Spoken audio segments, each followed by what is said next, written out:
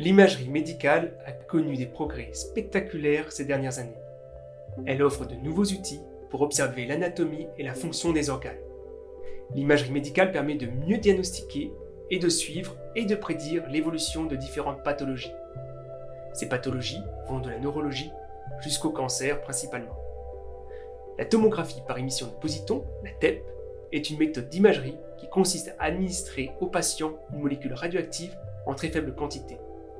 Cette molécule, appelée radiotraceur, permet de cibler par exemple des plaques amyloïdes, des cellules cancéreuses, une inflammation ou l'évolution au cours du temps d'un candidat médicament par exemple. L'imagerie TEP est quantitative, hautement sensible, corps entier et très versatile grâce au nombre illimité de radiotraceurs accessibles.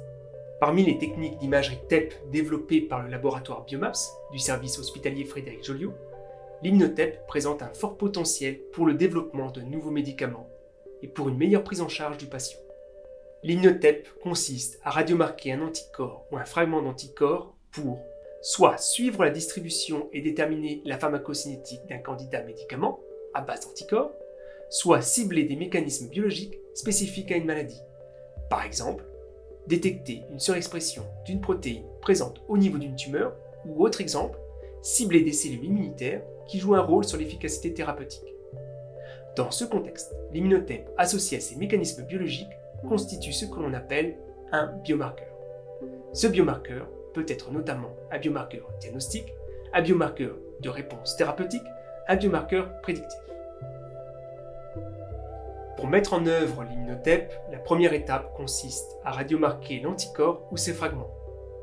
Il faut tout d'abord y accrocher un atome radioactif, émetteur de positons. En fonction du format des anticorps, il faut utiliser un émetteur de positons ayant un temps de demi-vie radioactif adapté. Le choix du format des anticorps dépend de la cible et de son expression. Pour un anticorps entier, il faut attendre plusieurs jours avant d'atteindre de manière optimale la région malade. Le zirconium 89 est un atome idéal avec un temps de demi-vie radioactive de 3 jours. Pour des fragments d'anticorps, dont la distribution est plus rapide, à savoir quelques heures, le fluor 18 est adapté, ayant une demi-vie courte.